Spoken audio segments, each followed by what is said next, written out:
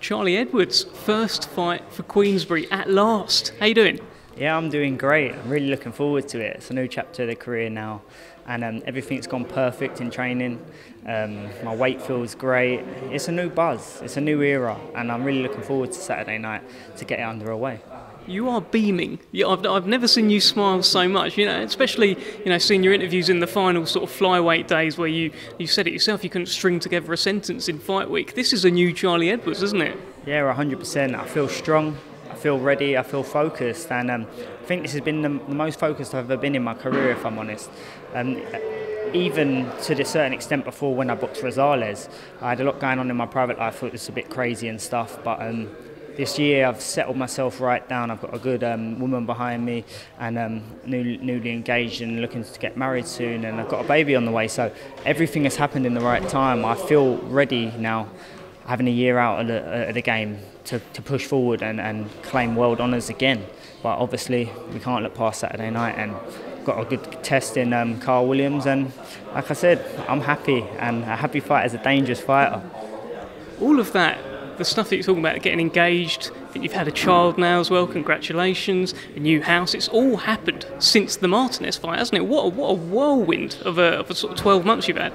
Yeah, 100%. Um, when I was world champion, I realised at the top of my game, when I was world champion, that it's not cut out what it's made to be. You know, I thought that would bring me happiness, and reality was I was the most miserable when I was at that at that weight on my own, lonely, going back to my apartment and looking at the belt thinking it was going to bring me happiness and it made me reassess things it made me grow up it made me mature it made me realize what's real and um, this last year i've put all that into place and now i'm in that great stage of, of my life where pushing forward in my career is going to be the easy bit well, there's, there's this theory, Charlie. You know, once fighters start making a bit of money, once they settle down, get a nice house, nice cars, it, it takes the fighter out of them. They become uh, morsel, kind of, rather than being a fighter. Is that, is that the case here? Have you lost some of the hunger? No, I've got more hunger, especially off the back of that last that last fight, especially of how I felt.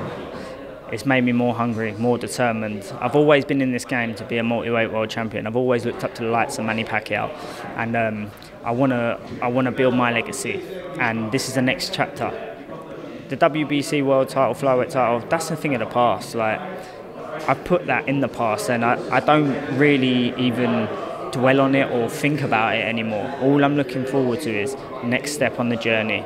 And it starts on Saturday night and I've got a tough test in Kyle Williams, but it's a real test that I think I can shine great on and um, I haven't felt this good in a very, very long time. I'm normally drained, dehydrated and um, not functioning properly. So Saturday night is going to be a great fight.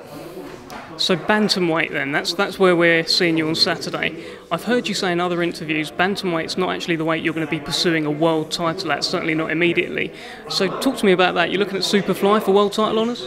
Yeah, most definitely. Um, I've, re- I've realised in this boxing game that you have to take them dangerous percentages at the world level um, to to get the world titles, and you've got to make them real big sacrifices. Um, super flyweight will not be easy for me to make, but I will be able to make it and perform well at it. So um, yeah, bantamweight is now for the time being. Right now, um, with all COVID going on, it made perfect sense to get to get it in and um, fight come up. And I was like, yeah, I'm big enough. Like you see me standing next to uh, Kyle, I'm probably the same size or a little bit taller. And um, I filled out as well a lot in this last year, and um, you'll see that when I get on the scales. What do you know about Kyle Williams then? Obviously, he's he's the man selected on Saturday night. He's he's done a, a, a, bit in his career. It's not it's not a walkover job. Tell us about him. He's, he's a banana skin fight. He's tough. He's game. He's awkward, and um, it's, it's, it's, his, it's his World Cup final. Let's don't forget that. Like if he if he upsets the apple cart, it gives him golden opportunities. So he's going to be there, and he's going to come.